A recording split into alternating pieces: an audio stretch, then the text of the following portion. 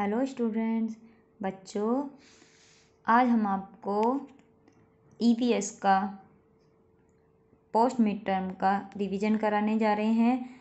इसको बहुत अच्छे से देखेंगे और बहुत ध्यान से समझेंगे। यह है आपके पैट एंड फार्म एनिमल सबसे पहले आपका question pet and farm animal तो पैट एनिमल्स क्या होते हैं?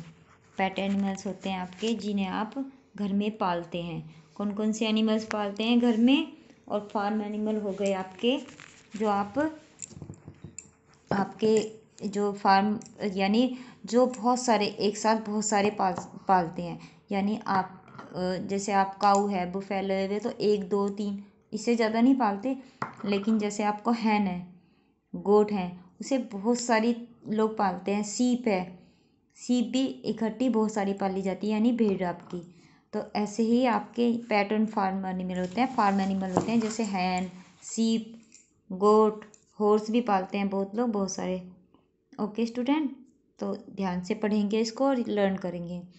C O W cow C A T cat H E N hen D O G dog H O R S C horse O X ox G O A T goat okay student, अच्छे से इसको तैयार करेंगे। Next है आपका, next chapter, lesson thirteen, उसकी आपको matching करनी है। काउ से हमें क्या मिलता है? हमें काउ से मिलता है मिल्क। सीप से क्या मिलता है? सीप से मिलता है हमें वूल। हैन से क्या मिलता है? हैन क्या देती है? एग। और हनी बी। हनी बी से क्या मिलता है? हनी। यानी शहद मिलता है हमें अब। तो इसको अच्छे से तैयार करेंगे सभी बच्चे। फिर आपका इंसेक्ट नेम इंसेक्ट होता है आपके छोटे छोटे जो कीट पतंगे होते हैं ना, कीड़े मकोड़े बोलते हैं जिनको, जैसे A N T ant L A D Y B U G lady bug F L Y fly B E double T L E beetle B U T T E R F L Y butterfly M O S Q U I T O mosquito मच्छर काटते हैं ना सब बच्चों को, सब परेशान होते हैं ना, वही मॉस्किटो होता है। ओके नेक्स्ट है आपका प्लांट्स अराउंड अस हमारे आसपास जो प्लांट्स होते हैं हैं, उनके बारे में हमने आपको क्लास में पढ़ाया भी था और आपको गार्डन में भी हमने आपको घुमा के लाए थे ना, पत्तों को दिखाया था अलग अलग पत्तों के बारे में बताया था अलग अलग पौधों के बारे में बताया था। देखो, ये है आपका मैंगो ट्री ऐसे ही होता है ना मैंगो ट्री थोड़ा सा सीधे पत्ते नहीं होते, इसके ऐसे लहर, लहरदार से होते हैं। ये आपका बनाना ट्री बनाना ट्री में लकड़ी नहीं होती। फिर है नीम ट्री नीम के पत्ते बहुत काम आते हैं, नीम के पेड़ की छाल से नीम के पेड़ की दातुन बनती है। नीम दवाइयों में यूज़ होता है, इसका तेल बहुत गुणकारी होता है, इसके पत्ते जलाकर धुआँ करके मच्छर भी भागते हैं, मर जाते हैं। तो ये हमारा बहुत गुणकारी पेड़ है। बनाना आप लोग खाते हो तो वो भी तो बनाना पेड़ पे लगता है, मैंगो भी सब बच्चों को पसंद होता है। फिर आपका कोकोनट ट्री।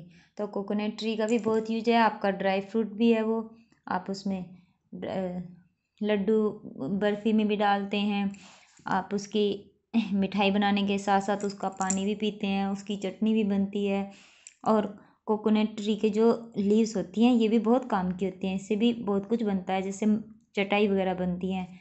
ओके स्टूडेंट्स तो आप सब पत्तों की पहचान करेंगे और इनको सही मैच करेंगे। ये आपका मैचिंग में आएगा। Okay. The way we travel. हमें वो रास्ता जिससे हम ट्रेवल करते हैं। हम जब एक से जैसे दूसरी जगह जाते हैं तो पैदल तो नहीं जा सकते अगर हमें बहुत दूर जाना हो तो हम किस किस का चीज़ का यूज़ कर सकते हैं, वो इसमें बताया गया है। जैसे B U S bus J E E P jeep C A R car T O N G O tonga B O A T boat T R A I N train S H I P ship. तो ये आपके general जो आपके vehicles होते हैं, उनके नाम हैं। तो इसे बहुत अच्छे से याद करेंगे। आपके ट्रांसपोर्ट के बहुत ट्रांसपोर्ट के बिना तो अब कोई भी कहीं एक दूसरी जगह जाने की सोच भी नहीं सकता। सबके घरों में, कम, ज़्यादातर सभी के घरों में देखो बाइक तो है ही। इसके अलावा बाइक स्कूटर के अलावा कार भी बहुत बच्चों के भी घर में है। और सबसे अच्छा है कि आप लोग, पैदल घूमो या वैसे चलो, लेकिन अगर आप दूर जाते हो तो दूर जाने के लिए तो आप पैदल नहीं चल सकते। इसलिए हमें आपको व्हीकल्स का यूज़ करना पड़ता है। ओके स्टूडेंट्स, फिर है आपके question answer. Who bring milk हमें दूध कौन ला के देता है? कौन लाता है दूध? Milkman who cut the hair barber बाल कौन कटता है? Barber how many days in a week एक हफ़्ते में कितने दिन होते हैं? Seven. Which day is the holiday holiday कौन से दिन होता है? Sunday which is our national fruit हमारा राष्ट्रीय फल कौन सा है? मैंगो ओके मैंगो कब आता है? गर्मियों में ना। अभी अब गर्मी गई थी, सबने बहुत इंजॉय किया ना मैंगो खाए। ओके नेक्स्ट है आपका डेज़ नेम तो डेज़ नेम आपका फिलअप में आएगा।